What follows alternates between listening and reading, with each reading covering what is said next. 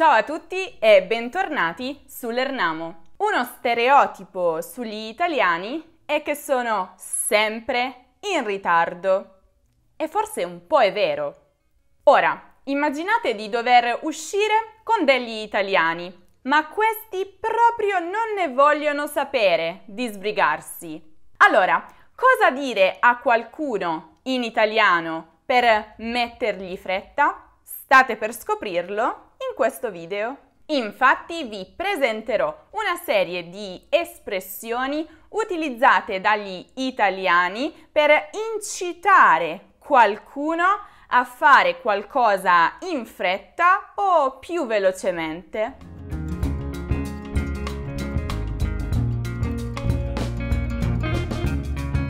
Aspetta un attimino, Tutte le espressioni che stiamo per vedere sono estremamente informali e colloquiali, quindi puoi trovarle quasi sempre nelle conversazioni quotidiane, per esempio in un film o una serie tv. Cosa? Non riesci a trovare nemmeno un film o una serie tv italiana sul web? Eh no, bisogna risolvere questo problema. Film e serie tv sono un'ottima soluzione per migliorare l'italiano senza annoiarsi. Come fare quindi? Beh, ricorrere a una VPN, come NordVPN, lo sponsor di questo video. Con una VPN potrai superare le georestrizioni e godere di tutti i contenuti che non sono disponibili nel tuo paese.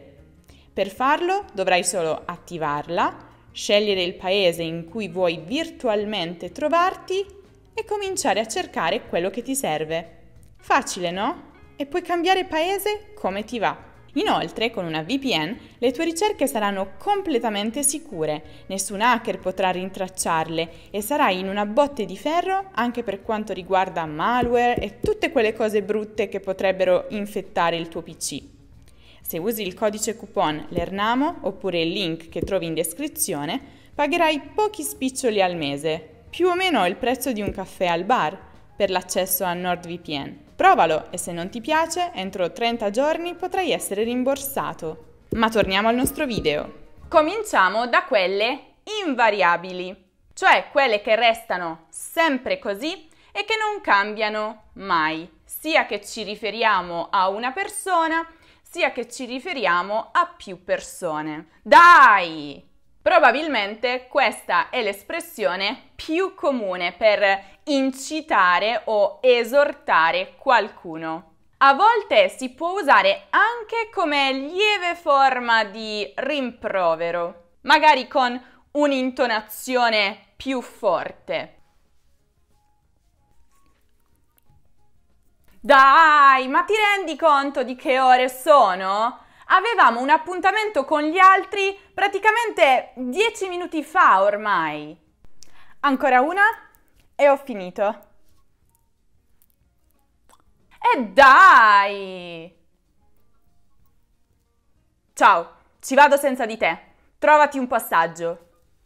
Vi ricordo che tutte queste espressioni che vedremo possono essere utilizzate da sole oppure possono essere combinate con altre della lista. Ma proseguiamo con su. Sì, avete capito bene. Proprio la preposizione semplice su.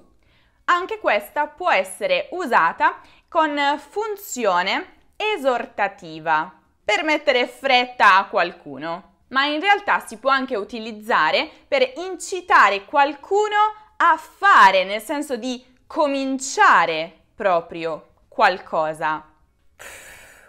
Puzzi di sudore!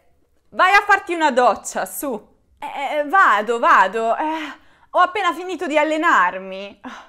Su, iscriviti a quel corso di cucina. Cosa stai aspettando? Fai qualcosa della tua vita. Su, dai! Scatta! Mi sta venendo un crampo al braccio. Animo! Anche questa ovviamente è un'altra forma di esortazione che esprime anche un po' di impazienza da parte di chi la dice. Tutte le espressioni che stiamo vedendo sono accompagnate generalmente da gesti con le mani, con la testa, da sguardi, espressioni. Ma questa in particolare richiede una grande gestualità, perché indica davvero che si è esasperati, irritati. Allora ragazzi, non avete ancora finito il compito che vi avevo assegnato? Animo! Non ho tutta la mattina, devo andare in un'altra classe. Adesso vediamo invece quelle espressioni che cambiano a seconda che parliamo con una o più persone.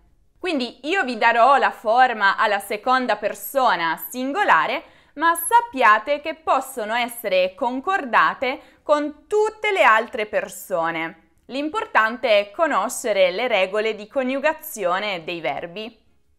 Fai presto! Questa espressione è utilizzata per riferirsi a qualcuno che deve fare in fretta o che comunque deve finire prima del previsto. Dai, vieni! Fai presto! Altrimenti la cena si fredda! Sbrigati! Spicciati! Datti una mossa! Muoviti! Tutte queste espressioni sono l'una il sinonimo dell'altra. Infatti i verbi sbrigarsi e spicciarsi sono forme più colloquiali per fare in fretta, proprio come darsi una mossa e muoversi. Mm-hmm. Anche muoversi. Nell'italiano colloquiale, infatti, muoversi significa fare in fretta, oltre al classico significato che tutti noi conosciamo, quello di spostarsi, mettersi in moto. Sì, sì, sì, lo so, perché quando siamo tornati non hanno detto nulla. Oh, so sbrigati! Sì, esatto. Quando parla al telefono non la smette più. Eh, lo so. Datti lo so. una mossa! Brutta storia. Svegliati! Anche questa espressione è simile alle quattro precedenti, in quanto si utilizza per mettere fretta a qualcuno o comunque per invitare qualcuno a essere più produttivo.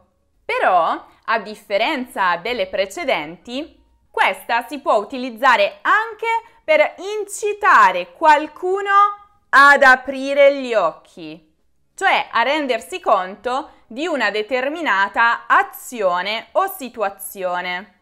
Oh, Svegliati! Abbiamo un sacco di lavoro da fare! Non è il momento di cazzeggiare! Arrivo, arrivo. Bene, queste erano tutte le forme italiane per mettere fretta a qualcuno. Le conoscevate già tutte? Oppure ne avete imparate di nuove grazie a questo video? Fatemelo sapere nei commenti. E soprattutto sono curiosa di sapere Cosa si dice nelle vostre lingue per mettere fretta a qualcuno? Oppure non fa parte della vostra cultura? Scrivetemelo. Inoltre vi consiglio di utilizzarle solo con le persone che conoscete molto bene, altrimenti potreste risultare un po' scortesi, maleducati. Ma certamente in contesti informali vi faranno suonare proprio come i madrelingua. Ma se volete conoscere altri trucchetti per parlare in maniera naturale, proprio come se foste dei madrelingua, non perdetevi il video dedicato proprio a questo argomento, che come sempre potete trovare qui in alto nella card o giù nella descrizione e inoltre vi ricordo che se invece cercate un qualsiasi altro argomento di grammatica o di cultura italiana potete visitare il nostro sito lernamo.com. Non dimenticate ovviamente di lasciare un bel mi piace a questo video se vi è piaciuto, di iscrivervi al canale se ancora non lo avete fatto e di condividere questo video con tutte le persone ritardatarie che conoscete. Inoltre vi ricordo anche di seguire l'Ernamo su Instagram, su Facebook, su Twitter, su Pinterest, su TikTok e su Telegram per tutti gli altri contenuti esclusivi. Con questo è tutto, vi aspetto nel prossimo video. Ciao ciao!